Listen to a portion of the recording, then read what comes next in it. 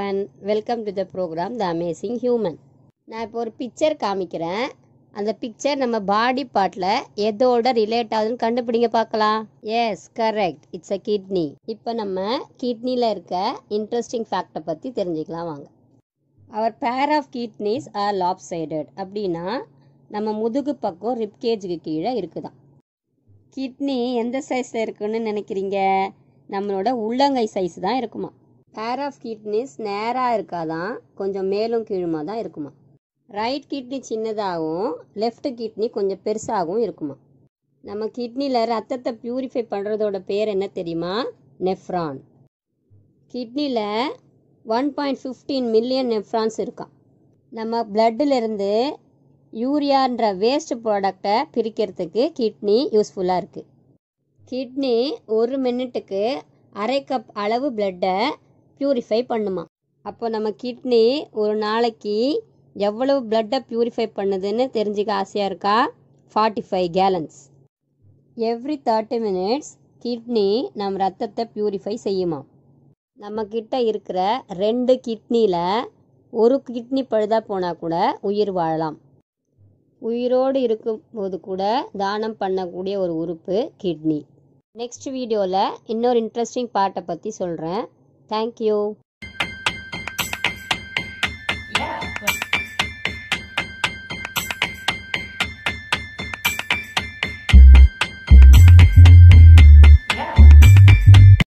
hello welcome to Hindi Boliye today let's learn new words in Hindi coming अंदर आओ अंदर आओ go outside बाहर जाओ बाहर जाओ.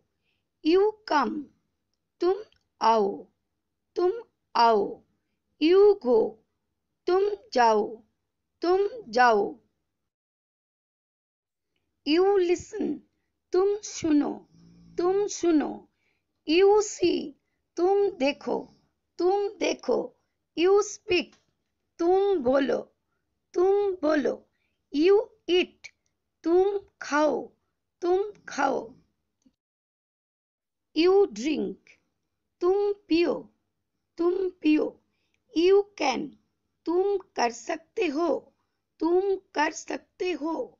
कीप क्वाइट चुप करो चुप करो। लेट्स गो चलो चलो। फिर मिलेंगे नया वीडियो के साथ। धन्यवाद।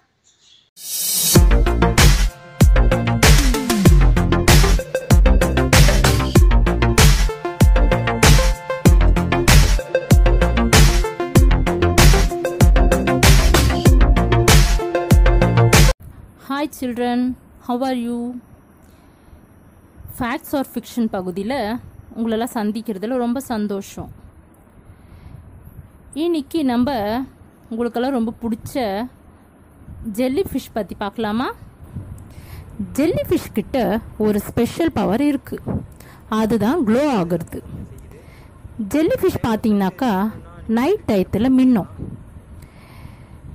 இதுக்கு என்ன காரணம்னாக்கா ஜெல்லிஃபிஷ்ஷுடைய சில ஆர்கன்ஸ் வந்து நைட் டயத்தில் மின்னக்கூடியது. இதை வந்து பயோலூமினன்னு சொல்லுவாங்க இது பகலில் ஒலியை சேகரித்து வச்சுக்கிட்டு நைட் டயத்தில் அதை வெளிப்படுத்தும். இந்த பவர் அதுக்கு எதுக்குன்னாக்கா ஃபுட்டை தன்னை நோக்கி இருக்கிறதுக்காகவும் பெரிய பெரிய அனிமல்ஸ் கிட்ட இருந்து சேஃபாக இருக்கிறதுக்காகவும் இந்த லைட் எஃபெக்ட் அதுக்கிட்ட இருக்குது அடுத்து க்ளோன் பண்ணுற பவர் அதாவது காப்பி எடுக்கிறது அல்லது ஜெராக்ஸ் பண்ணுறது உங்களுக்கு தெரியுமா? ஒரு ஜெல்லி ஃபிஷ்ஷை ரெண்டாக கட் பண்ணால் அந்த ஜெல்லி ஃபிஷ் ரெண்டு பீஸுமே வந்து தனித்தனியாக ரெண்டு ஜெல்லி ஃபிஷ்ஷாக மாறிடும்னு சொல்லுவாங்க.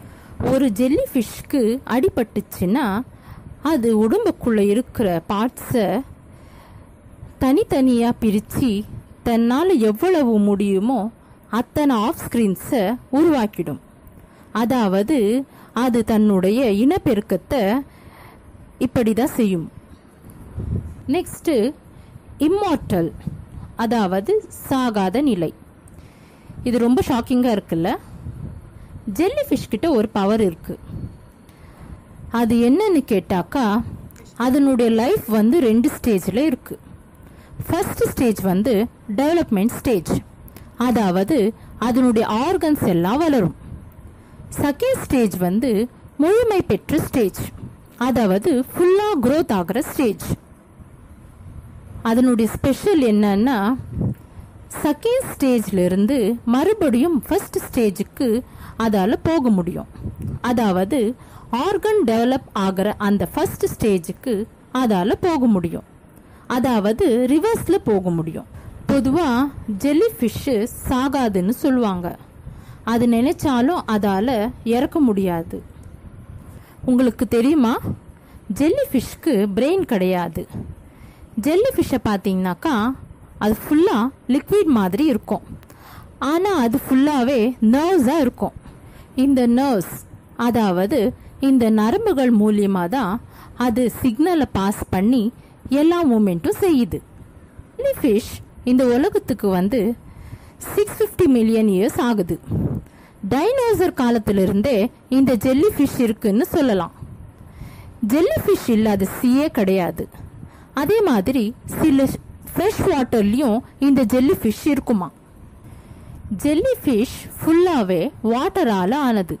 அதாவது 95% ஃபைவ் பர்சன்ட் அது உடம்புல நீர் இருக்குமா? ஜெல்லி ஃபிஷ் மேலே வந்து அம்ப்ரல்லா அதாவது கொடை போல இருக்குமா? கீழே வந்து வால் வாலாக இருக்குமா? இந்த அம்ப்ரல்லா பகுதியும் வால் பகுதியும் மொத்தமே தண்ணியால் ஃபார்ம் ஆயிருக்கும். அடுத்து ரொம்ப இம்பார்ட்டண்ட்டான விஷயம் என்னன்னா ஜெல்லிஃபிஷோட பாய்சன் இந்த உலகத்திலே இருக்கக்கூடிய எல்லா அனிமல் விட அதிக பாய்சனஸ் இந்த ஜெல்லிஃபிஷ் ஜெல்லிஃபிஷில் பாக்ஸ் ஜெல்லிஃபிஷ்னு ஒரு டைப் இருக்கு. அதுதான் ரொம்ப பாய்சனஸ் ஜெல்லிஃபிஷ் இந்த ஜெல்லி ஃபிஷ்க்கு நிறைய டெண்டகல்ஸ் இருக்கும். இந்த ஒவ்வொரு டெண்டகல்ஸ்லேயும் ஃபைவ் லேக்ஸ் ஸ்டிங் அதாவது கொடுக்குகள் இருக்கும். அதில் தான் பாய்சன் இருக்கும். அந்த கொடுக்கை பயன்படுத்தி தான் அது பாய்சனை ஸ்ப்ரெட் பண்ணும். ஸோ ஜெல்லி ஃபிஷ் கடிச்சா ரொம்ப டேஞ்சரஸ் நெக்ஸ்ட்டு இமேஜஸ் எந்த அனிமல் இறந்தாலும் அதனுடைய இமேஜ் அதாவது அதனுடைய படிமம் நம்ம பார்க்கலாம். இருந்த அனிமலுடைய போன்ஸ் மண்ணுக்குள்ளே பதிஞ்சு போயிடும். அதை வச்சு தான் அந்த அனிமல் எப்படி இருந்துச்சுன்னு ஆராய்ச்சி செய்து கண்டுபிடிப்பாங்க.